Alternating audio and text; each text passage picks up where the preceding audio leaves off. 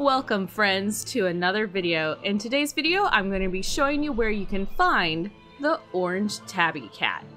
Now it is only for purchase for Alliance, so Horde if you're looking for this you're probably going to have to go to the auction house or create a level 1 human and just wander over there and get it.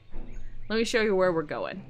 To start off we're going to be in the Eastern Kingdom and we're heading over here to Elwynn Forest.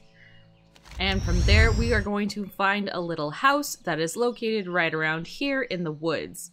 Now, if you are Alliance, I'm just going to show you really quickly how you get there. You just go out the gates and you list lazily to the left and just head down this direction.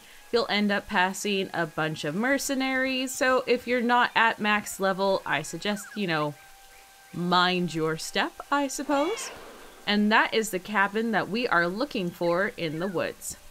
Fun fact about the orange tabby cat, which I have named my Mittens, the last person who tried to housebreak this cat quickly learned that a soiled rug is better than a shredded everything else.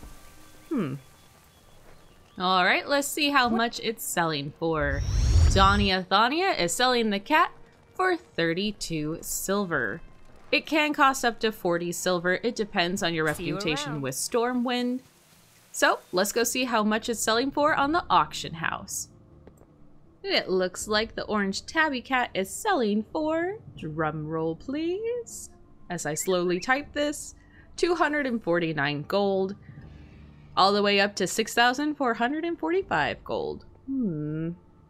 But, you know, like I always say, it's your gold, you do with it as you will. I'm just here to provide you the locations of how to get these battle pets and maybe save you a little bit of change.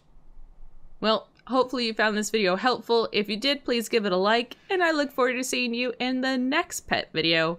Have a good one.